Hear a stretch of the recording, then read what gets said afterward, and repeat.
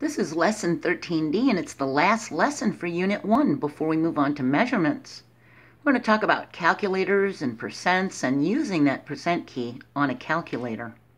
And of course I've got links to the previous videos in this description.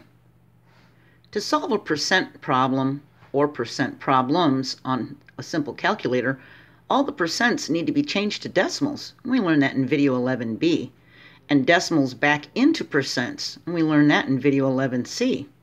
15% would be equal to 0.15.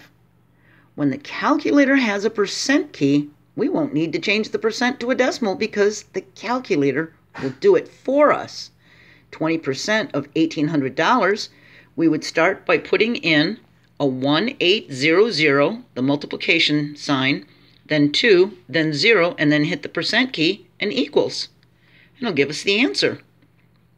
And remember, there may be no percent key on the calculator they lend you for the test, and that you could use the shift equal keys on that Casio 260. Okay? It's a Casio FX260. If that's the one you get, there's no percentage sign. You hit shift equals instead. Okay? So instead of hitting this percent sign, you would hit after the two zero, you would hit shift equals, okay? And remember, any dollar sign that should be on the answer. So if you're doing money, make sure your answer has that dollar sign, okay? So we've been working with this triangle. Part divided by base is going to give us the rate, or part divided by rate is going to give us the base, or base times rate is going to give us the part. If we're solving for the base or the part, if one of those two are missing,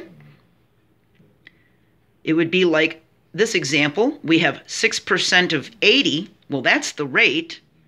And if it's of 80, that means that's the base. So we need to find the part. What we would do is we have three different choices. The first one is if there is a percent key on our calculator. This one is for the calculator that they usually lend you for the GED test. And this one is for any calculator if we convert it to a decimal first. Okay? So we would put in the 8 and then the 0, then the multiplication key. Then we would hit 6 and then just hit the percent key, and it would tell us the answer. It would be 4.8. If we're using the, the Casio FX260 that they usually lend for the GED, you're going to put in 8, 0, multiplication, 6, shift equals. You can also avoid all the confusion because this works on every calculator. You change this to a decimal by turning it into a 0.06, and we multiply 80 multiplication key 0.06 equals, and that will give you 4.8, okay? For this one, it says 4.8 is 6% of what number? So now they gave us the 4.8, and now that 80 is missing. I just flipped it around to show you if the base was missing, because on the first one, the part was missing. We would put 4, decimal point 8, division sign, 6, hit the percent key, and equals, and that would tell us 80. This is for the Casio FX260 that they might lend you. You put in 4, then the decimal point, then the 8, then the division sign, then a 6, and then a shift equals. Because remember, the shift equals is the same thing as the percent. And that'll give you an 80.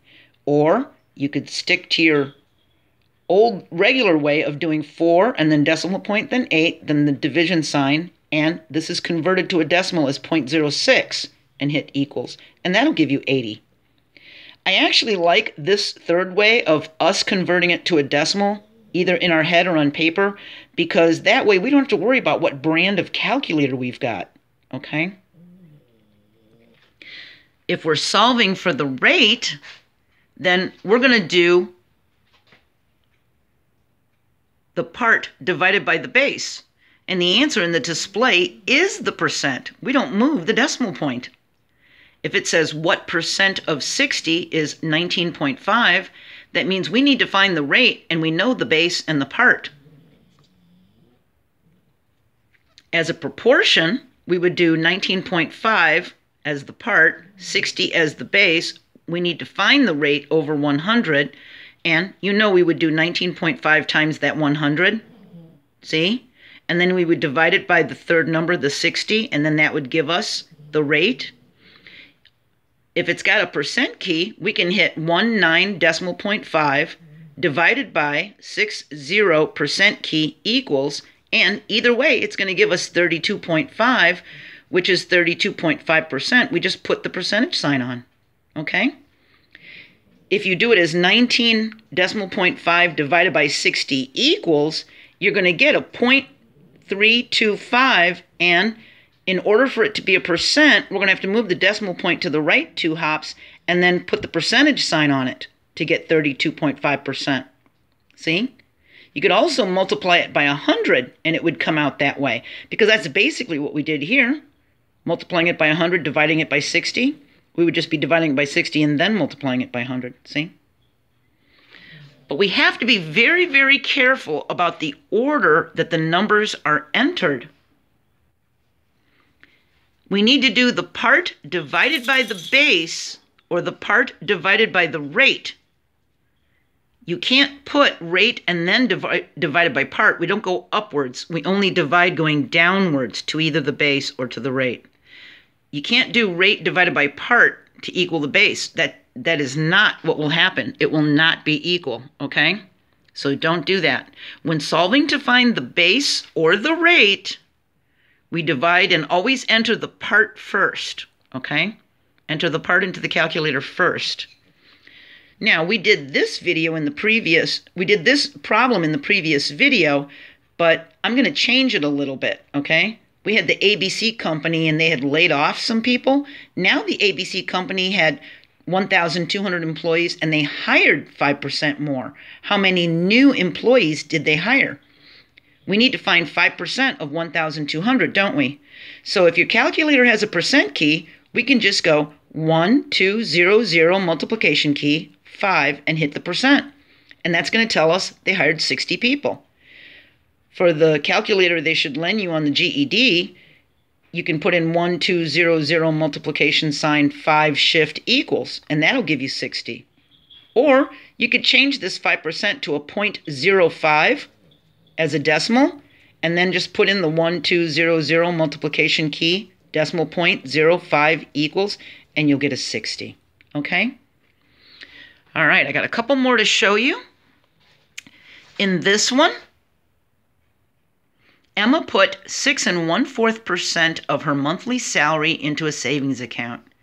If she put in $343.75, what's her monthly salary? So this is the part. We know the rate and the part. We just need to find the base. So if we know the rate and the part and the base is missing, then we need to do part divided by rate, don't we? Whatever one is missing, that's what we cover on the triangle, and then we do what it says, part divided by rate. So that means we need to do $343.75 divided by 6 and 1 4th percent. Now, we can't put in 6 and 1 4th percent into the calculator. We need to change this. We know 1 4th is 0.25. So in order to change this, we could say 6.25 percent, 6.25 and percent sign, or we could change it to 0.0625 as a decimal. See? Either way, whichever way we want to enter this or what kind of calculator we're using, we're going to get that she makes $5,500 a month. Okay? So just remember, changing this to a decimal, there is no decimal after the fraction. It's in between the 6 and the 1 fourth. So we move over two hops, we're going to have to put a zero as a placeholder in front of the six, and then that one fourth turns into a two five. So it would be 0.0625, wouldn't it? And then we could do the division. All right? And when you have a chart and it says something like November sales were $3,670 and December sales were 4,404 and it says December sales were what percent higher than November sales? Well, they want to know what percent higher this is than this. And the first thing we need to do is find the difference. So we do 4,404 minus 3,670, and we get 734. Now We've got the part, we've got the base, we need the rate. We do 734 divided by 3,670, and it's going to equal 0.2. And we know that we can multiply that by 100 to get a 20 for a 20%, or we could just turn this decimal into 0.20, which is 20%. Either way, okay? So be very, very careful when you're doing these. Just read the questions very carefully and remember the rules in the triangle. And now you should be ready to do that skill focus on page 151. And do your best. If you have trouble, go back and figure out what you're missing because we're finishing unit one now. You don't want to go into unit two with measurements when you haven't even gotten the percentages and fractions and decimals down, okay? And there's a 30 minute mini test on pages 152 through 155 for lessons 11 through 30. Try to do it in the 30 minutes. See how many you can answer, because that's going to give you a good judge of how many you're going to answer on the GED test. See if you can answer them all. I think there's 25 questions, so you've got around a minute for each question. Then there's the Unit 1 cumulative review on pages 156 through 160, and that's going to be a good judge of how you'll do on the GED test, okay? If you get a lot of them right, well, then I'll meet you in Unit 2. If you get a lot of them wrong or you can't answer some of them, then you need to go back and regroup, retreat, regroup, attack again, right? You don't quit. You retreat, regroup, and attack again. You have grit, okay? Our next video is Unit 2. We're going to be doing customary U U.S. system of measurements. It's lesson 14A. And I'm going to have links to these GED math videos that we've done so far to help you out in case you do have trouble, okay? That'll be where you can get uh, real quick answers to anything that you had problems with in the skill focus page on page 151. These would be the videos to go to to find out what happened and where you went wrong, okay?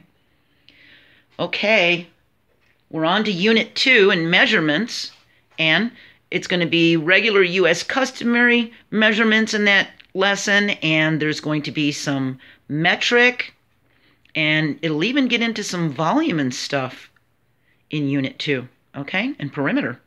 I'll see you there. Have a great day. I'm proud of you. Hit the like button if this helped you and share it with somebody that you think could use it. Okay? I'll see you next time. Bye.